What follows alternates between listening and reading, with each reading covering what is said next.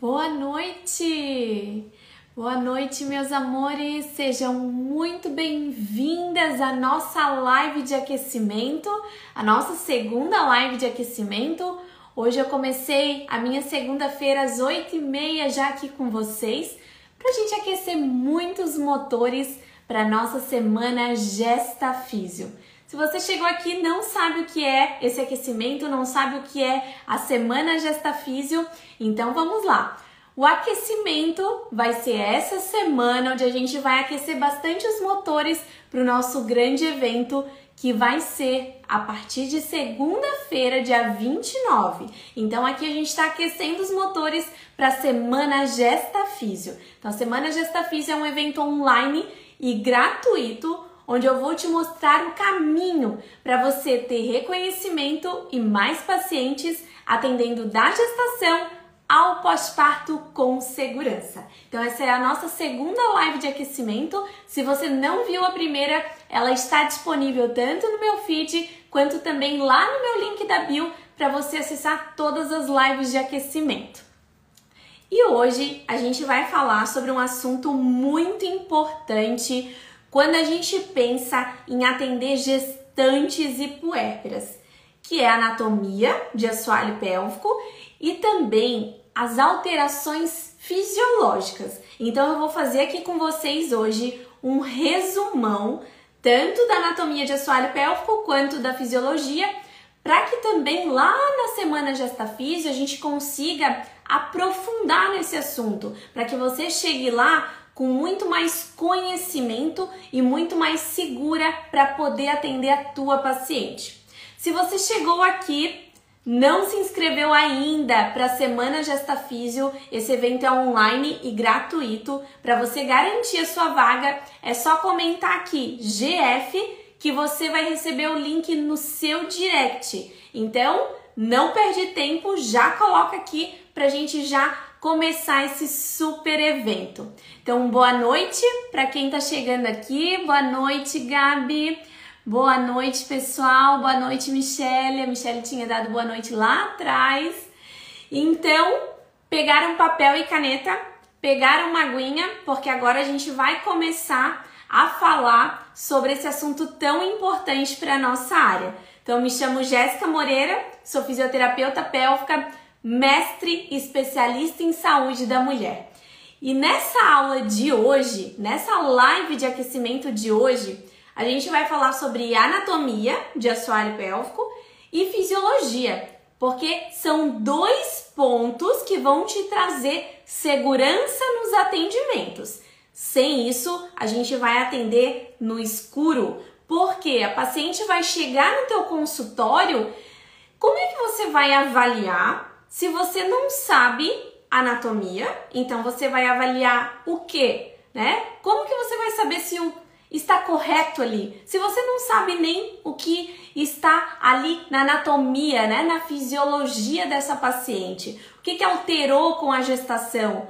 Então é muito importante que a gente entenda passo a passo anatomia e fisiologia. Boa noite, pessoal. Sejam muito bem-vindas. Então vamos lá. Já pegaram papel, já pegaram caneta e a gente vai começar a falar sobre musculatura de assoalho pélvico. Olha só. Musculatura de assoalho pélvico é o nosso principal foco de trabalho, então a gente precisa ter na ponta da língua o que, que é essa musculatura, quais as funções dela e quais os músculos que compõem essa musculatura. Então vamos lá, a gente vai fazer uma revisão aqui, porque eu quero aprofundar tudo isso, inclusive sobre avaliação na semana Gesta Física. Então você vai ficar super preparado. Primeiro de tudo, os músculos do assoalho pélvico são essa rede, né? Não só de músculos, mas também de fáscias, que são posicionadas aqui no fundo da nossa pelve. Se a gente pensa nisso, né? A gente já pensa na gestante. Olha só, esse músculo é o que vai dar sustentação ao longo da gestação para esse bebê em crescimento. Então já pensa nisso e pensa nisso por quê? Porque a gente precisa muito trabalhar essa musculatura para que ela tenha ali ao longo da gestação uma musculatura funcional, uma musculatura que vá manter ali aquela sustentação, aquela força ao longo de toda a gestação, mesmo com a sobrecarga do bebê. Segundo ponto, essa musculatura aqui, ela é composta de duas camadas, anota aí. Camada superficial e a camada profunda. A gente vai depois esmiuçar aqui cada camada dessa. Camada superficial, camada profunda. Quais são as funções principais desses músculos aqui? Primeiro, a gente pensa na parte sexual, que é a musculatura superficial que vai fazer esse essa função. Então, prazer, lubrificação, orgasmo e ereção. Sim, ereção também, ereção do clitóris.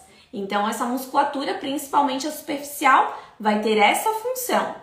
Segundo, a gente tem o auxílio no suporte dos órgãos pélvicos.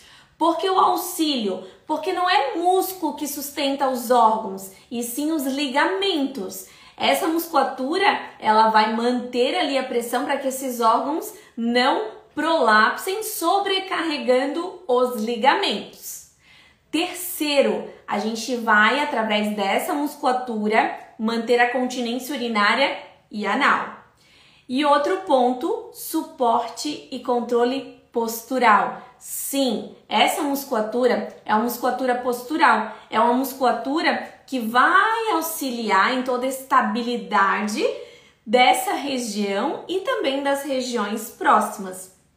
Por isso que a gente não pode pensar nessa musculatura como algo isolado no corpo dessa nossa paciente. Essa musculatura, ela vai ter influência de outras regiões, como também ela vai gerar influência em outras regiões. Então é importantíssimo a gente ter esse olhar global. Vou falar sobre isso também na semana Gesta Físio, porque esse é um ponto que vai te diferenciar de outros profissionais. Então, fica muito atenta a isso, físio. Essa musculatura, ela tem um caráter bem peculiar, que é, essa é uma das musculaturas no nosso corpo que quase nunca relaxam completamente. Por quê? Porque elas precisam manter ali esse suporte para as demandas. Quais são essas demandas? O suporte dos órgãos pélvicos manter a continência urinária e anal e o suporte controle postural. Então vamos pensar nesses três pontos aqui.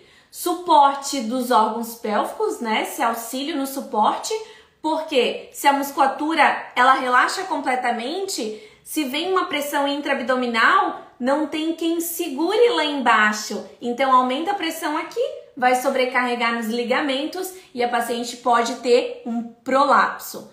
Segundo ponto é manter a continência urinária e anal. Imagina se essa musculatura relaxasse o tempo inteiro, a minha paciente iria ter perdas toda vez que aumentasse a pressão ou toda vez que tivesse ali um aumento do volume tanto vesical quanto retal. Então é importante também a gente ter esse tônus basal dessa musculatura, né? Isso aqui é parte fundamental dessa musculatura de assoalho pélvico.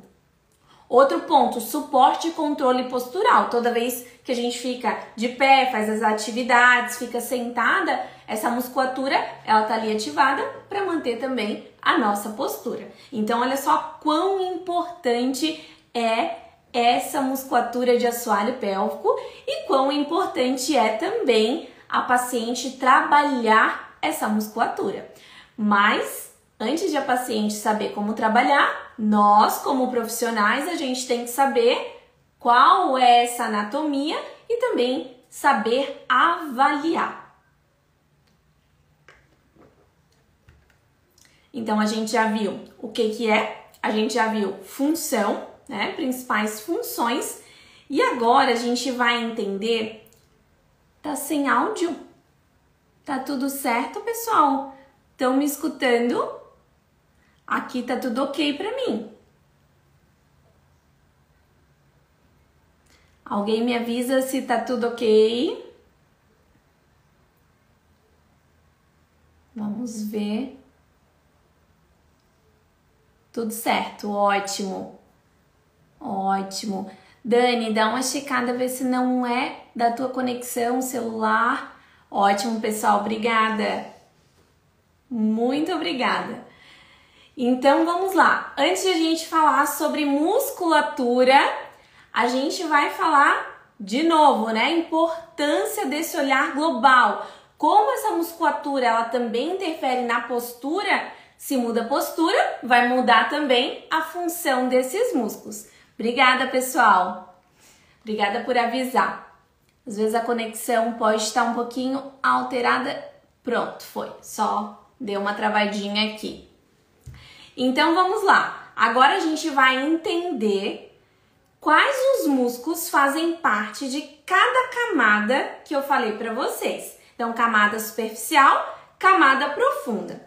Quando a gente pensa em camada superficial, a gente vai ter alguns músculos. Então anota aí. A gente tem primeiro isquio cavernoso, onde é que ele sai? Ó? Ele vai sair aqui do corpo cavernoso, da região do clitóris e vai se inserir no isquio. Então, isquio cavernoso, ele vai de um lado ao outro. Então, o músculo aqui par. É um músculo que tem ali né, dois, dois feixes musculares. Então, essa musculatura, principal função dela é ajudar ali na ereção desse clitóris.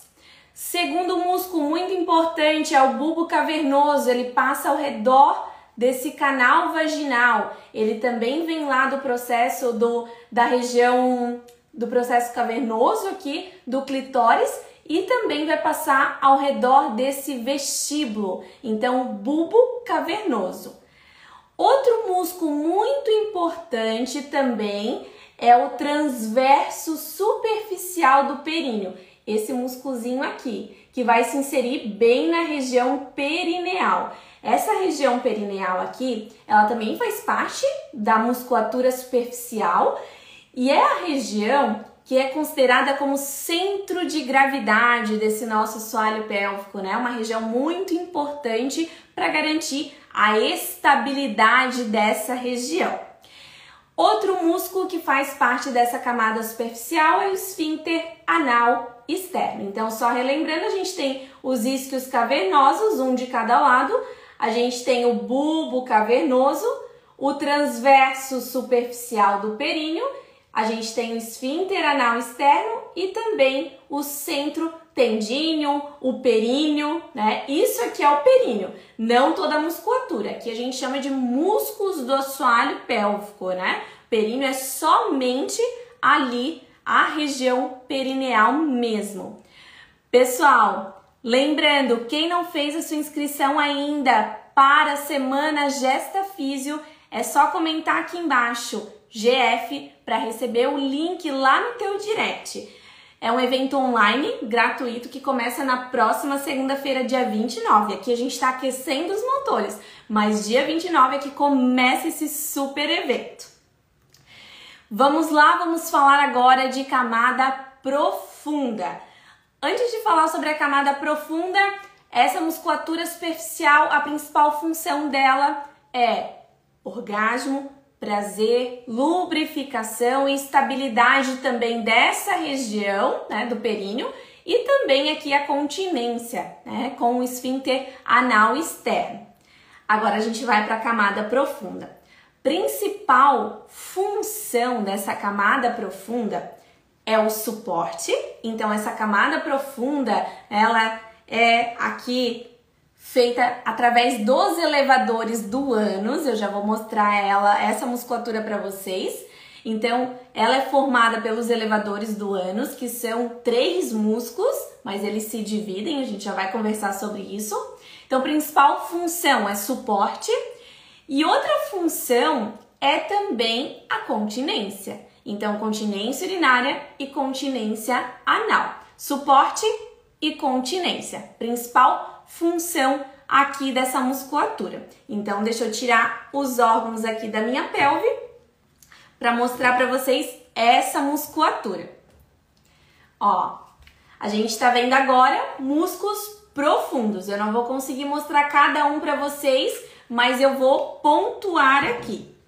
Primeiro músculozinho que ele se divide em três partes. Então anota aí.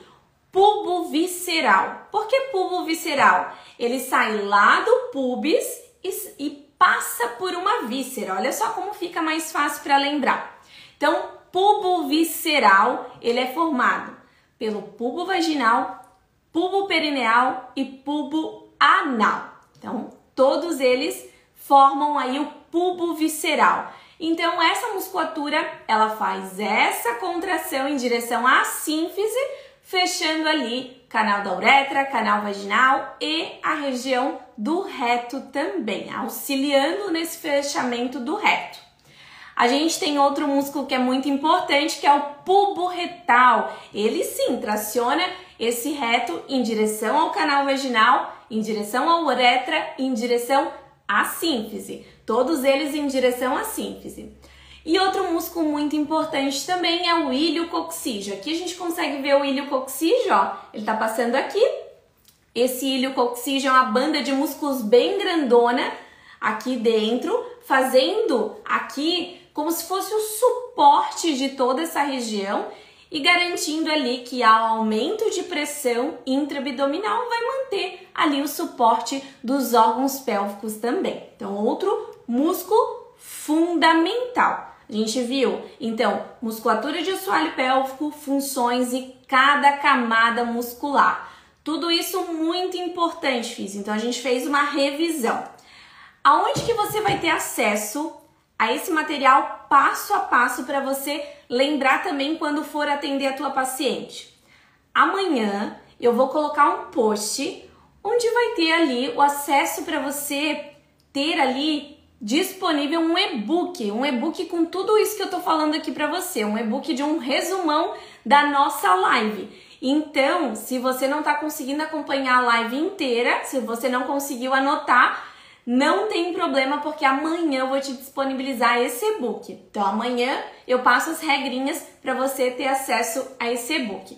E se você está aqui comigo, não se inscreveu ainda para a semana Gesta Físio, que aqui nessa semana de aquecimento a gente já está tendo tanto conteúdo, imagina na próxima semana. Então se você não se inscreveu ainda, é só comentar GF que você vai receber o link gratuito lá no seu direct. Vamos lá. O que, que a gente falta falar aqui? Fisiologia. E isso é sinônimo de segurança quando a gente está falando de gestante. Não tem como atender a tua paciente sem entender da fisiologia gestacional. E aqui, Físio, eu vou te trazer um apanhado geral das principais alterações fisiológicas. Mas lá na semana Gesta Física a gente vai aprofundar. Então fica bem ligado aqui porque a gente vai começar a falar sobre esse assunto para você já ficar aí bem aquecida. E a gente vai começar a falar sobre um dos pontos, né, um dos principais pontos com relação à alteração fisiológica, que são os hormônios gestacionais. Então a gente vai conversar aqui sobre alteração e a influência de cada hormônio. Então vamos lá.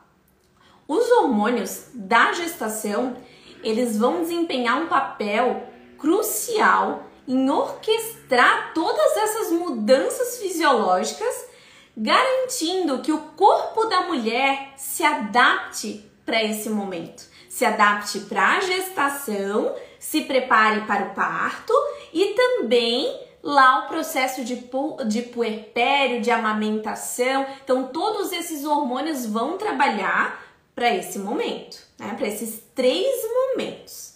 Então, vamos entender agora quais são os principais sistemas aqui envolvidos nessas alterações fisiológicas. Primeiro, sistema cardiovascular, anota aí. Então, nesse sistema cardiovascular, e essas alterações são orquestradas pelos hormônios, a gente tem um volume sanguíneo aumentado em aproximadamente 30 a 50%. Por que, que aumenta? Porque tem mais demanda ali do feto, da placenta, então precisa aumentar esse volume sanguíneo. O débito cardíaco ele também aumenta em até 40% e a pressão arterial ela diminui devido à vasodilatação. Por isso que quando a gente avalia a nossa paciente, a pressão tá ali 10 por 6, 10 por 7, né? Ou até menos do que isso, mas isso é fisiológico.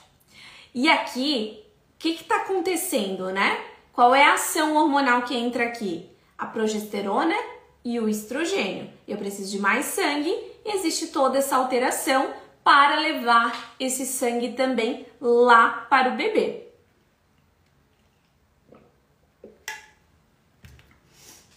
Segundo, sistema cardiovascular. Sistema cardiovascular nada, sistema respiratório. Cardiovascular eu já havia falado. Assim como sangue, né, a gente também vai ter o aumento da demanda de oxigênio. Então a ventilação pulmonar ela também aumenta em cerca de 30 a 40% devido a esse aumento dessa necessidade metabólica que o bebê está gerando. Quem é que está provocando isso? É a progesterona. A progesterona que estimula o centro respiratório lá no cérebro para provocar toda essa alteração, tá? Para suprir essa demanda ventilatória, essa demanda de oxigênio lá do bebê. Terceiro, sistema endócrino. O sistema endócrino ele vai trabalhar muito na gestação. Né? Existe aí uma elevação significativa de vários hormônios, como progesterona, estrogênio, o beta-HCG ou HCG, que é a gonadotrofina coriônica humana. Então, todos esses hormônios eles vão aumentar. A tireoide ela também pode aumentar até de tamanho, né, para suprir essa demanda hormonal e aumento na produção de hormônios também da tireoide. Então, todo mundo trabalhando para as demandas da gestação. Então, aqui, sistema endócrino. Outro sistema muito afetado que entra aqui na nossa parte é o sistema urinário. Né? A gente vai trabalhar muito com essa parte, então a gente precisa entender. E os rins, eles chegam a aumentar de tamanho também, assim como a tireoide, a taxa de filtração desse rim, a filtração glomerular, ela também aumenta em até 50%. Existe volume, existe um aumento do volume de líquido circulando, então existe também o aumento dessa filtração. Isso resulta em maior excreção de resíduos e alterações na absorção de nutrientes e também de eletrólitos. E aqui por isso que eu falei que é tão importante a gente entender essa parte. Por quê? Já no primeiro trimestre, eu já tenho aumento da frequência urinária e isso é provocado também por fator hormonal. A progesterona vai relaxar a musculatura lisa ali dos ureteres, aumentando ali êxtase urinária, infecções urinárias e também vai contribuir para esse aumento da filtração glomerular. Então, olha só quanta coisa a gente tem durante a gestação que impacta também no nosso trabalho. É por isso que durante a gestação, muitas pacientes, um dos relatos delas é aumento da frequência miccional, tá? Então, isso aqui é fisiológico. Quinto ponto aqui das alterações fisiológicas Sistema músculo-esquelético vai mudar muito também. Por quê? Existe um aumento da lacidão aí ligamentar devido à ação da relaxina, o que pode levar a várias alterações posturais, de equilíbrio. Né? A gente sabe que o centro de gravidade da nossa paciente gestante vai mudar, o que pode provocar aí várias alterações posturais, biomecânicas. E aqui um dos principais fatores é também aqui o estrogênio, né? Então a gente precisa também saber que o estrogênio também vai fazer isso porque ele vai contribuir para a retenção de água nos tecidos, incluindo músculos, articulações, né? A gente tem toda essa demanda. Um, do Carmo colocou, ajudando a produção de colágeno. Sim, a relaxina vai deixar toda a galera mais relaxada, né? Principalmente os ligamentos, para promover aí a abertura pélvica, distensão ligamentar para facilitar o parto. A Gabriela colocou: muito importante conhecer a fisiologia na gestação para atuação segura. Perfeito, colocação perfeita, Gabriela. É, é isso que eu sempre prezo. A gente precisa entender anatomia, fisiologia para atender com segurança. Não tem como a gente fazer isso sem ter essa base. Outro ponto fundamental, físio, é o sistema digestivo, sistema também intestinal. A motilidade gastrointestinal ela vai diminuir.